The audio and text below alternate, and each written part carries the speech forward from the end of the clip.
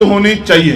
बावन percent OBC को बावन परसेंट आरक्षण अब इस देश में मिलना चाहिए। ये मांग हमने उठाई तो सरकार का जवाब आया कि अभी भी साधन की कमी है। तो हमने कहा, ठीक है, अगर साधन की कमी है तो 27 परसेंट से अलग वो पिछड़ी जातियाँ, जो अभी तक मुख्य धारा में नहीं आ पाई है, उन अति पिछड़ी जातियों को 15 परसेंट आरक्षण की व्यवस्था अलग से आपको करानी चाहिए।